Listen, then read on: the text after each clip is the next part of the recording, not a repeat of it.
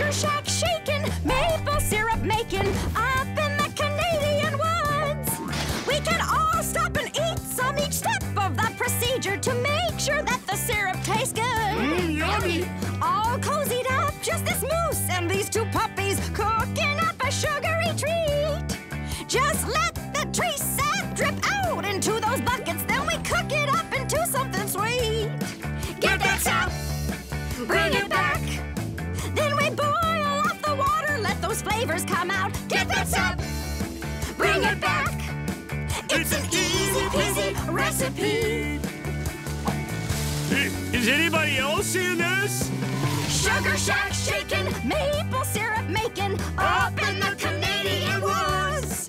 We can all stop and eat some each step of that procedure to make sure that the syrup tastes good.